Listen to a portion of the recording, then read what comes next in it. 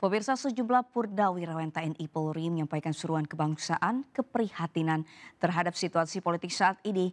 Mereka menyuruhkan Presiden Joko Widodo dan jajarannya agar bersikap netral, profesional serta proporsional jelang pemilu 2024. Puluhan purnawirawan TNI Polri menggelar acara diskusi mimbar keprihatinan bangsa dan seruan kebangsaan jelang pemilu 14 Februari mendatang.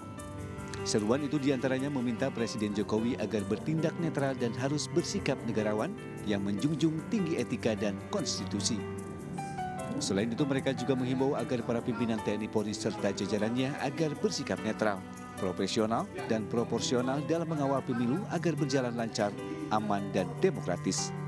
Pun kita lihat Presiden sudah menyampaikan bahwa akan netral, TNI, Polri akan netral, ASN netral, KPU, Bawaslu dan lain masih perlu kami menyampaikan uh, penegasan kembali bahwa betul-betul mematuhi apa yang tadi disampaikan Presiden ini supaya terutama yang bawahan-bawahannya Para purnawirawan ini juga merasa pemilu kali ini kondisi politiknya kian memanas lantaran banyaknya guru besar yang akan bicara menolak politik dinasti serta demokrasi yang kian luntur.